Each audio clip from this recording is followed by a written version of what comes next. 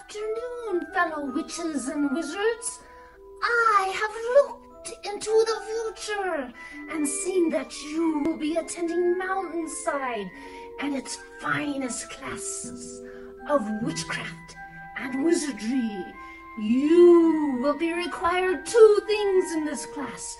The first, a wand, and the second, a magical creature, which you will create in art class. We begin our magical creatures with two pinch pots. They need to be about the same size. This one was a little smaller, so I'm going to stretch it here. See if I can make it the same size. A little more. Ah, perfect. I take a piece of paper and put it inside of the two pinch pots. This will help keep the form. Then it's my job to smooth all of the edges together. A dip in the water every once in a while and a pencil to shove the paper back in. Sometimes it wants to poke out. But this needs to be all the way smooth together. A light touch, but smooth all of your edges together.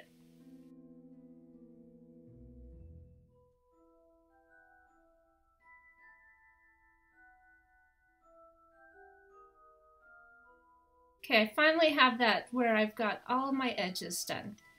Then you're going to roll out a piece of clay, making a coil or a rope. Now, I came across a problem with this clay. It was too dried out, and look what's happening. I had to add water, and I mushed it back together using wedging. But here's my clay roll again. Much better this time because it's not dried out. You want it about the thickness of your finger.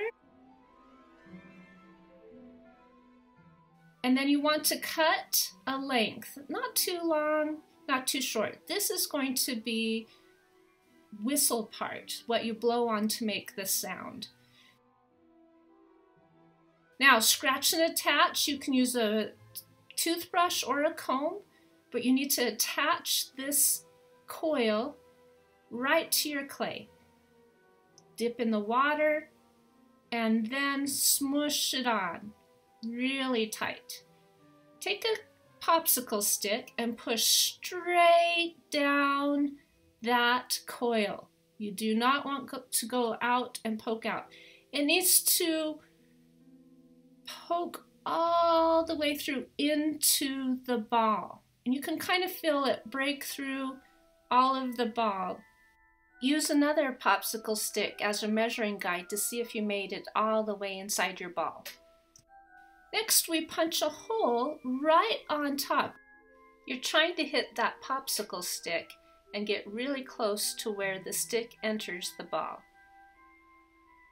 I didn't quite make it, but I can push my popsicle stick in just a little bit more and make sure it's kind of even with that hole. There we go.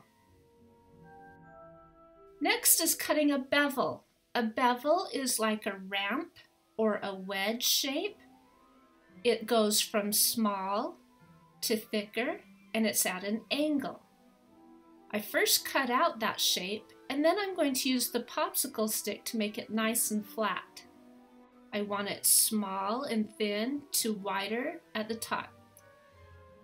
It's time to create the magical creature. I added eyes, a tail, feet.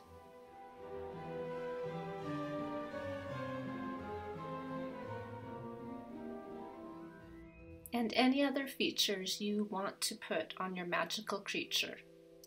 You're the artist. You get to design your magical creature. What kind of features it has, what kind of eyes, legs, spines, you name it. You're the artist. You decide.